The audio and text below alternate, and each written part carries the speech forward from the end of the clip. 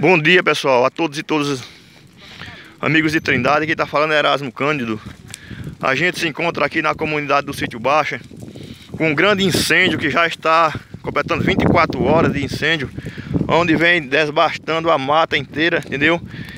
Vem acabando com tudo, entendeu? Esse fogo E não tem controle A gente, a comunidade ontem acionou o corpo de bombeiro ontem à noite onde os mesmos vieram para prestar o seu serviço é, à comunidade.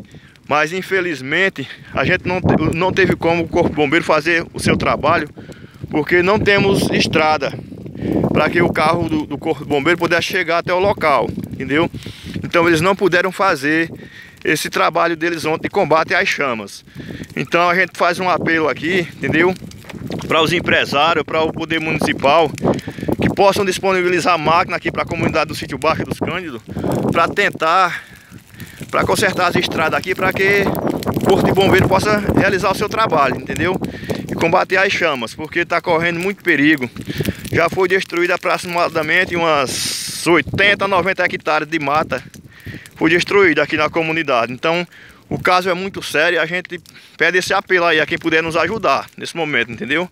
A gente está aqui no local agora e é muita fumaça, é muito fogo, entendeu? E de muito, muito complicado.